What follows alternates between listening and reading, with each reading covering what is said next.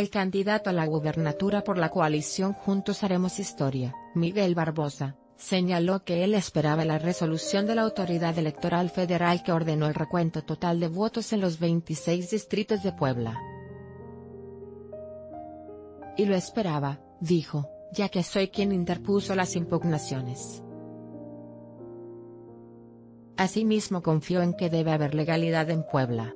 Yo voy a ver qué encontramos, pero la apertura de paquetes es de documentación que ha estado en poder de ellos, completamente de ellos, así que yo no puedo esperar más que manipulación más manipulación, pero celebro la decisión del tribunal, respondió Barbosa. En entrevista con medios nacionales, señaló que el material que se va a abrir ha estado bajo la custodia del Instituto Electoral del Estado instancia que han sido parte del control del grupo Moreno Ballista para manipular la elección a la gubernatura.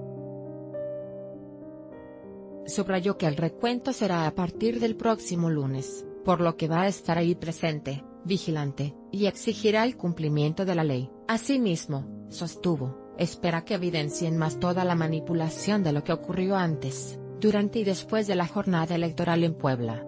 Yo gané por más de 10 puntos y tengo todas las evidencias, ahorita están saltando muchas cosas.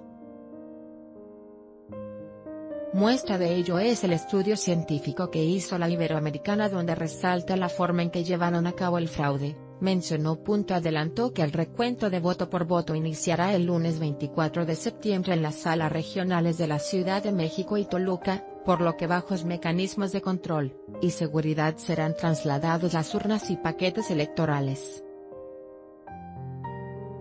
Comunicado de Barbosa tras la resolución del tribunal, el equipo de Barbosa manifestó cuatro puntos donde confirman desconfianza en el siguiente proceso 2.1 la manipulación sobre el material electoral que el Instituto Electoral del Estado y sus direcciones, así como de los consejos distritales electorales y los consejos municipales electorales, ha sido permanente antes, durante y después de la jornada electoral, sosteniendo de nuestra parte que la certeza en los resultados, y la cadena de custodia en el material electoral está perdida. 2. El día de hoy, la Sala Superior del Poder Judicial de la Federación ha resuelto la apertura total de la paquetería electoral en los 26 distritos electorales en el Estado, sustentando su resolución en la afectación en el principio de certeza que debe prevalecer en todo el proceso electoral. 3. Guión todo el material electoral que va a ser abierto y contado, ha estado en manos de quienes han manipulado la elección, no tenemos confianza en lo que se vaya a encontrar.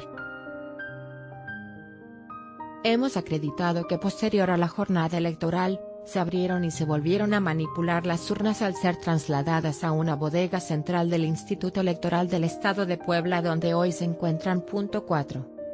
el nuevo cómputo de los distritos electorales se llevará a cabo en la sede de la Sala Regional de la Cuarta Circunscripción, bajo la coordinación del personal de la Autoridad Federal y de la Sala Regional.